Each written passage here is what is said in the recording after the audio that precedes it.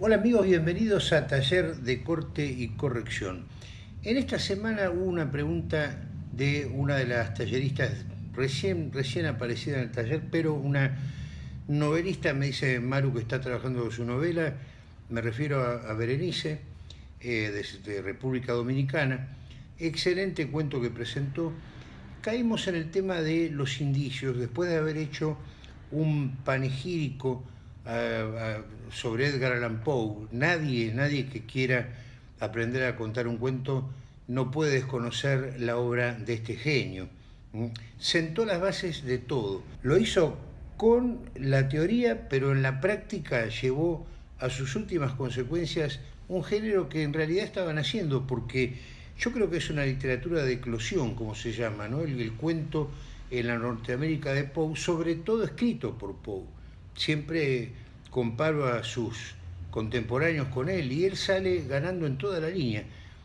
Aun cuando un cuentista eh, no quiera terminar sus cuentos, vieron que hay un capricho últimamente de decir, bueno, terminé acá y que el resto lo ponga el lector, aún así ese, ese, esa persona, no sé si escritor, pero sí persona, necesita abrevar en Poe, porque ahí está todo, la unidad de efecto, los remates, los desenlaces justamente eh, como si fuera una especie de, perfecto ajedrez, en los cuales hay que cuidarse mucho porque, bueno, puede el lector anticipar el final.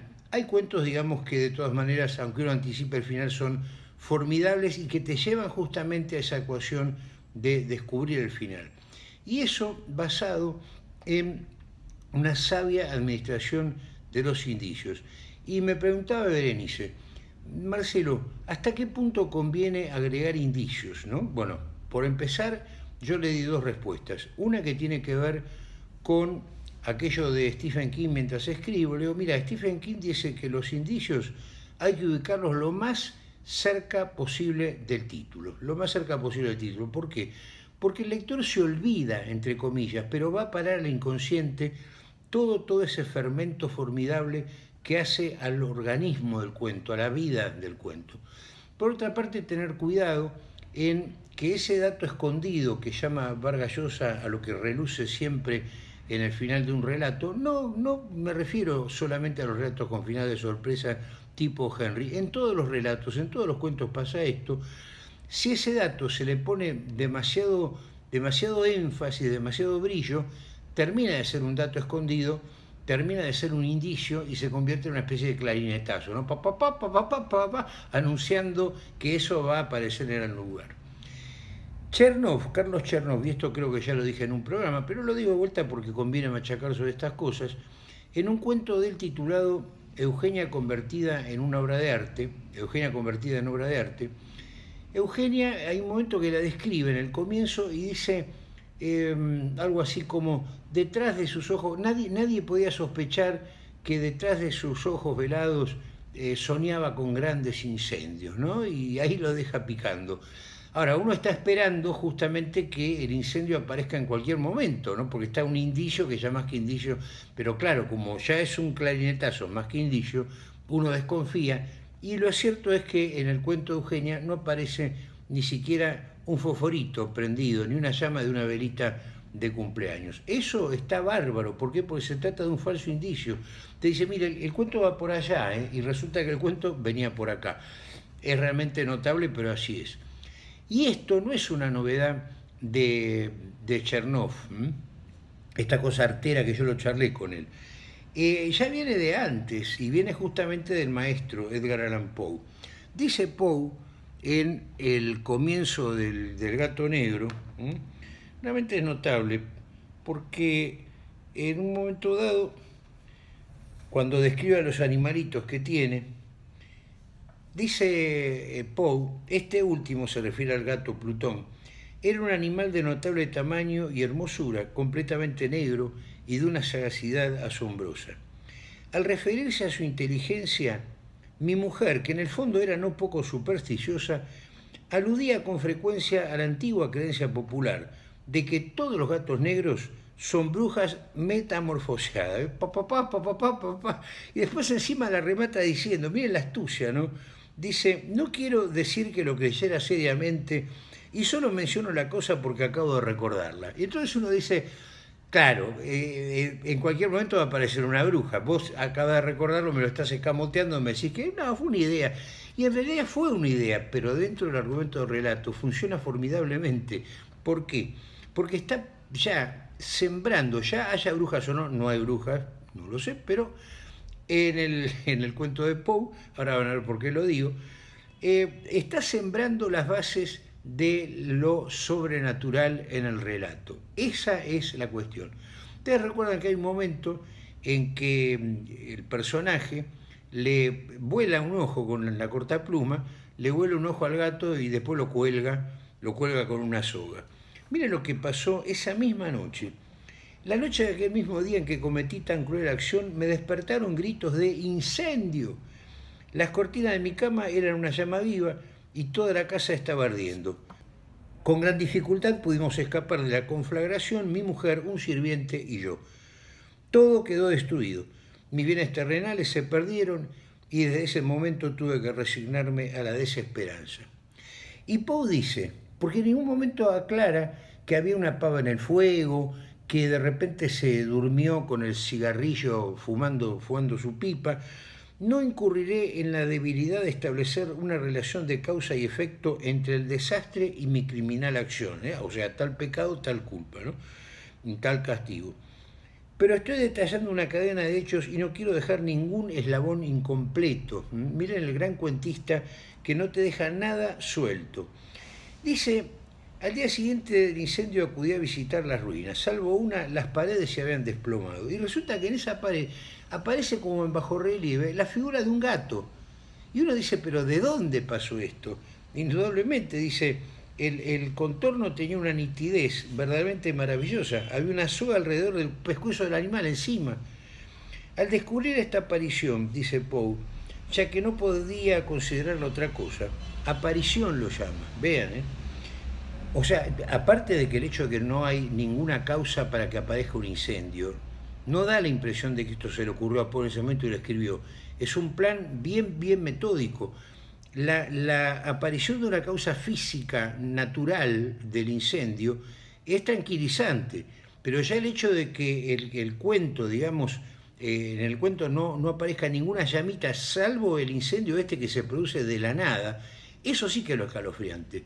Algún tallerista, algún coordinador de taller más o menos correcto y educado le dice, mira, pone algún indicio de alguna hornalla, es preferible que no, porque así trabaja en la cabeza del lector. Por oposición, lo que Poe dijo, dijo, ojo, no estoy diciendo que esto me pasó por culpa de lo que le hice al pobre gatito, ¿eh? guarda.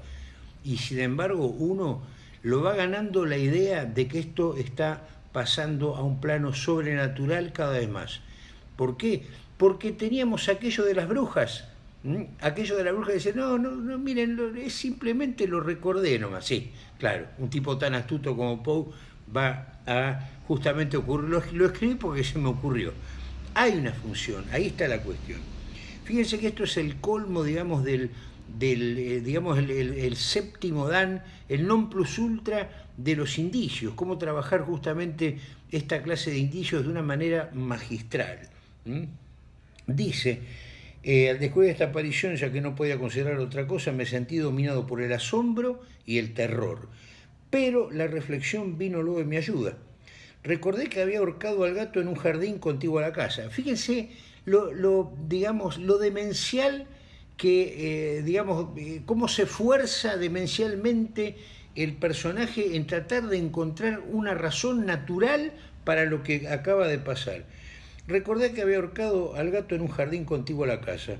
Al producirse la alarma del incendio, la multitud había invadido inmediatamente el jardín Alguien debió de cortar la soga y tirar al gato de mi habitación por la ventana abierta. Sí, es muy habitual eso, ¿no? Cuando uno está durmiendo en un incendio, viene alguien, agarra un gato y te lo revolea y te lo tira a la ventana. Sin duda habían tratado de despertarme en esa forma. Flaco, eh, ¿saben lo, que si vieron Pandilla de Nueva York? Saben que los incendios de esa época pom, pom, pom, pom, campana. Probablemente la caída de las paredes comprimió a la víctima de mi crueldad contra el enlucido recién aplicado cuya cal, junto con la acción de las llamas y el amoníaco del cadáver, produjo la imagen que acababa de ver. Y uno dice, pero flaco, eh, eh, ¿qué te fumaste? ¿Cómo es posible que estés pensando que semejante cosa es probable? Como dice acá, probablemente. Es un imposible.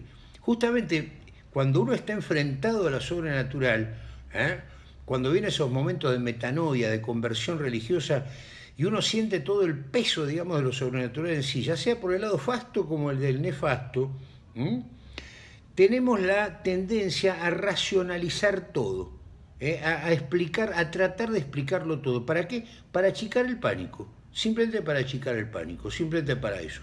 Tendemos a psicoanalizarlo todo de manera tal que lo sobrenatural no nos roce. Y esa es la actitud que tiene este personaje acá.